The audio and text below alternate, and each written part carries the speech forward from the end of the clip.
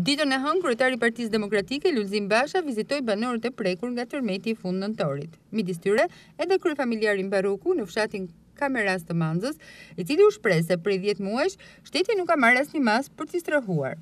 Në lidhje me këtë fakt ka reaguar edhe Bashkia e Durrësit. Në reagimin zyrtar, saktësohet se, Kadri Riza Barruku, duke filluar nga data njëzet e shtatë i dymbëdhjetë i dy mijë e nëntëmbëdhjetë, pra vetëm një muaj pasi humbi banesën, është trajtuar me bonus qiraje në masën tridhjetë mijë lekë në muaj, në zbatim të vendimit të Këshillit Bashkiak numër gjashtëqind e dyzet e nëntë. Deri më sot, zoti Barruku ka përfituar shtatë këste të bonusit të qirasë, më i fundit, ka kaluar në llogarinë e tij bankare në datën gjashtë gusht dy mijë e njëzet.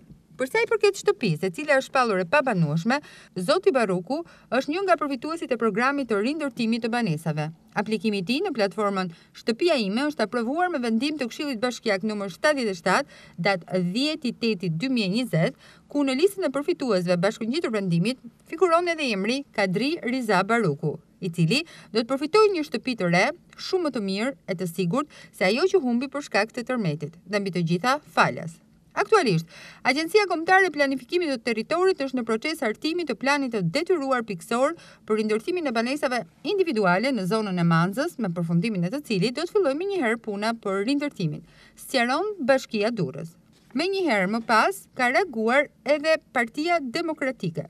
Në një postim në rrjetet sociale, kryedemokrati durrsak, Ferdinand Xhaferaj, shkruan se Këshilli Bashkiak i Durrësit është mbledhur me urgjencë vetëm pas denoncimit të Bashës. Në dokumentin e postuar nga Bashkia Durrës, shkruhet se vendimi për rindërtimin e shtëpisë së qytetarit Barruku është dhënë ditën e sotme me datë 10 i teti 2020.